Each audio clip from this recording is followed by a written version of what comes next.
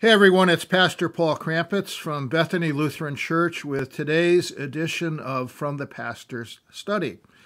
So, what I'm uh, doing is uh, being inspired by the various artifacts, uh, bits of memorabilia, uh, etc., that uh, I find here in my study at Bethany Lutheran Church. And today's uh, devotion is based on this.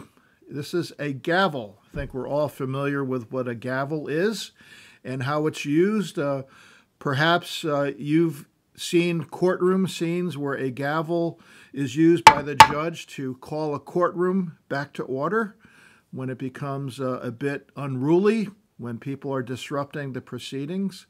Uh, here at Bethany, we, we actually use this gavel to call to order uh, meetings of the uh, congregation. So, order is important for us, isn't it? The opposite of order is chaos. It sure feels like we are going through some chaotic times right now. Did you know that the very beginning of the Bible mentions chaos?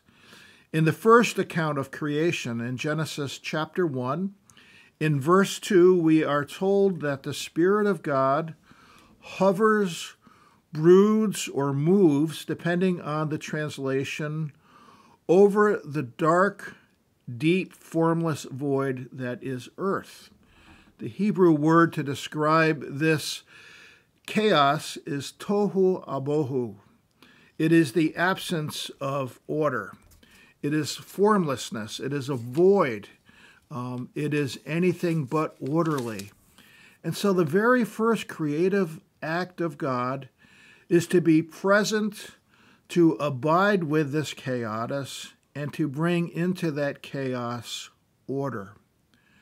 Boy, we sure need that Spirit of God present with us now to bring a sense of order and normalcy into our lives, both uh, individually, as families, as a nation, and indeed as a world.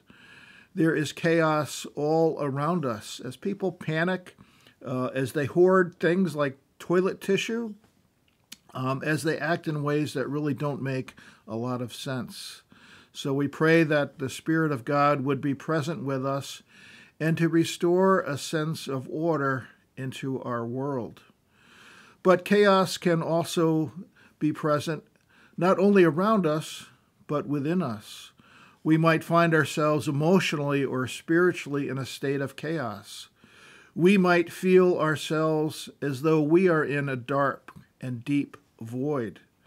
And so I pray that each and every one of you would know the gift of God's presence with you, and that by the Holy Spirit's power, you would be restored to a sense of order, and that you would know the gift of shalom, peace, abundant and joyful life that God desires for each and every one of us and for all of creation. Peace be with you. Until next time, this is Pastor Paul Krampitz. We'll see you soon.